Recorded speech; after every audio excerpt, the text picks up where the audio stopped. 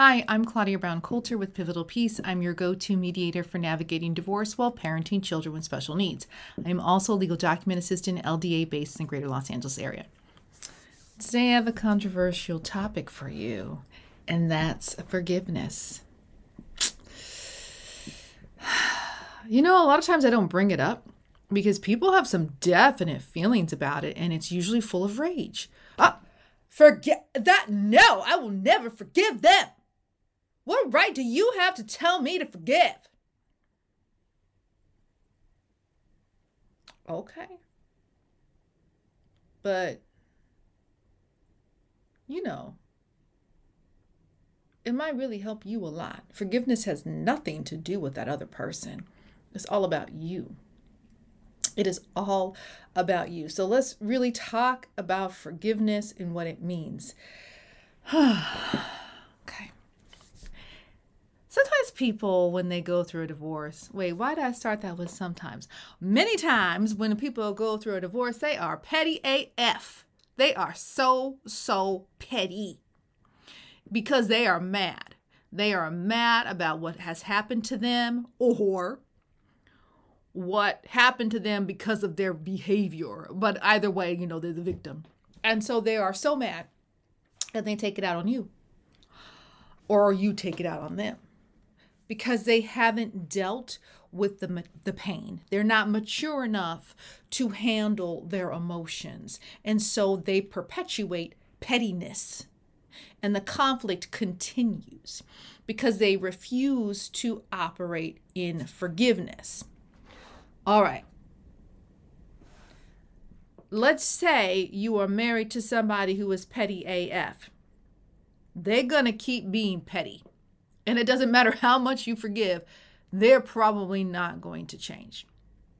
Now, if you're the petty person and you choose to forgive, uh, that'll that'll definitely change you. That'll definitely impact the outcome of your divorce. But forgiveness is solely about you. It is solely about your health, your physical health, your emotional health, your mental health, your spiritual health. Forgiveness is a gift for you. If you continue in bitterness and unforgiveness, it will only hurt you. And psst, by the way, you don't need to tell them that you've forgiven them. Don't tell them. Remember, it's not about them, this is about you. Okay, so let's talk about why it matters. Forgiveness can kind of clear out some of that emotional clutter so that when you go into mediation, you're able to be more objective in your decisions. I find, though, when you are really angry, meditating can help calm you down and, and help you forgive. But that doesn't happen if you don't have a practice of forgiveness. So let's talk about forgiveness and what it means and how it applies to you. So, first of all, forgiveness does not mean that you excuse their behavior. It does not mean you forget their behavior. It does not mean they are no longer held accountable for their behavior. It does not mean that there are no consequences for their behavior. It does not mean that you need to reconcile and invite them back into your life so they continue to commit that behavior. No, it means you've released them.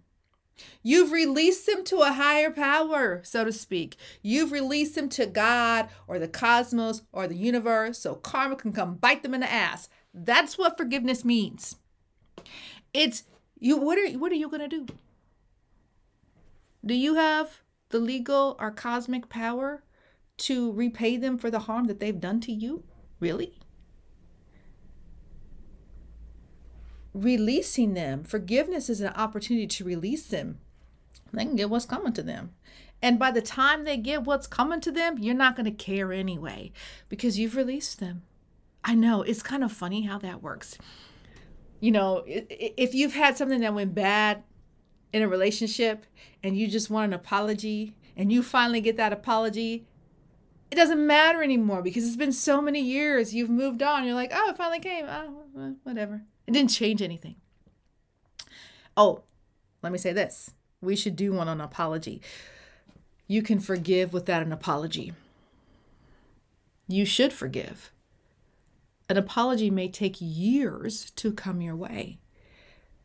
The apology is for the person who offers the apology. Forgiveness is for the person who needs to forgive. They're kind of exclusive.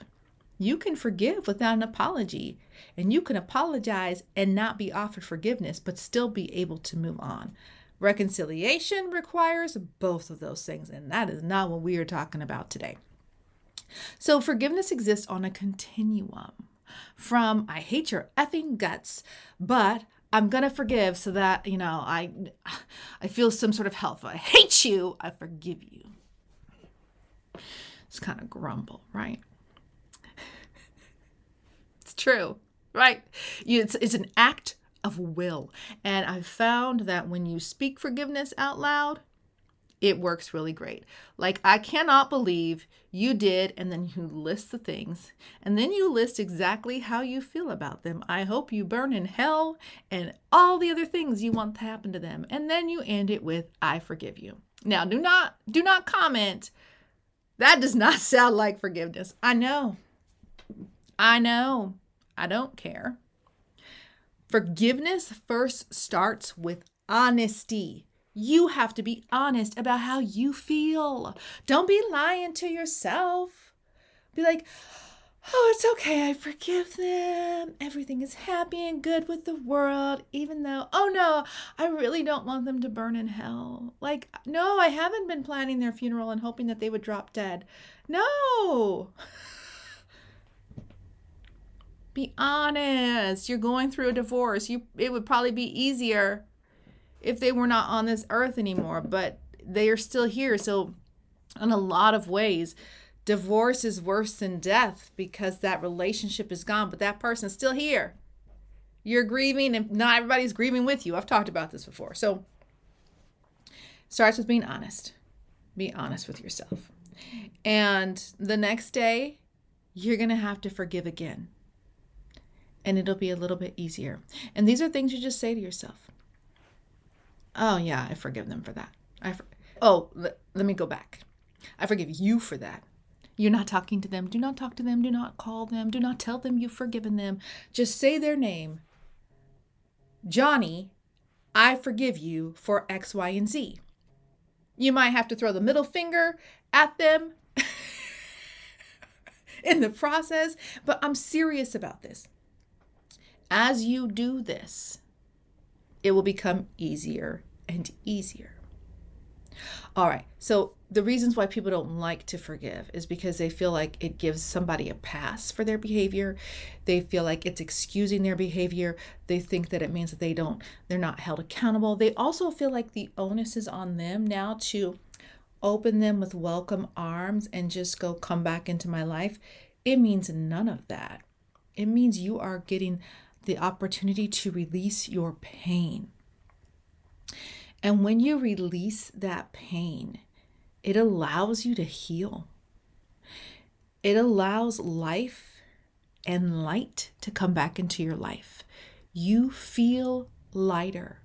There is joy. You can feel the sun on your face. That heaviness that you're carrying it's it's the load is beginning to lighten. And what it does is it takes power away from the person who harmed you. You never ever ever ever ever ever ever ever ever need to go to them and say oh yeah i forgave you for that. Because they're going to be like they're going to take advantage of you or attempt to or be like i didn't do anything wrong. I can't believe you said you forgive me. I'm they're just going to make it worse. Don't say nothing to them this is not about them. This is about you. Yeah, I said chew. Chew is about you. I take this so seriously because it is incredibly powerful. It has nothing to do with religion. It's incredibly powerful for your own sanity, for your own mental health, so that you are not stuck in the past. And it allows you then to walk into mediation and be able to negotiate. The things that make you mad might cause you to laugh, like, look at this sick, sad, petty little person. Oh, that's funny. Okay. Right? And those things that used to bother you about them, they're not gonna. There are their ability to push your button, your buttons. It's not gonna be as powerful anymore because they no longer have that grip, that stronghold on you. They're no longer sitting in your mind. A stronghold happens in your mind, and when you forgive, the tentacles, those things, they begin to release. This is about your own healing and this is about your own freedom. So, when I ask you to forgive, I know you don't want to. Just like when I ask you to be the bigger person, you're like, why me? Why not you? Don't you deserve happiness? Don't you deserve to walk through life with some joy? Okay, let's lighten your load. Start walking in forgiveness. Remember, it doesn't excuse behavior, nor does it pardon behavior. And you are welcome to remember all that they did. You are welcome to do that, right? Just don't let it have power over you anymore. This isn't easy. I am well aware of that. But like I said, it's a continuum. So start when you're really grumpy and pissed off, and pretty soon over time, it'll get easier and easier. And before you know it, it's gone. It's gone. They might still be messed up, running circles, and they're saying little petty nonsense, but not you. You'll be well past that. I know you can do this. Please give it a try.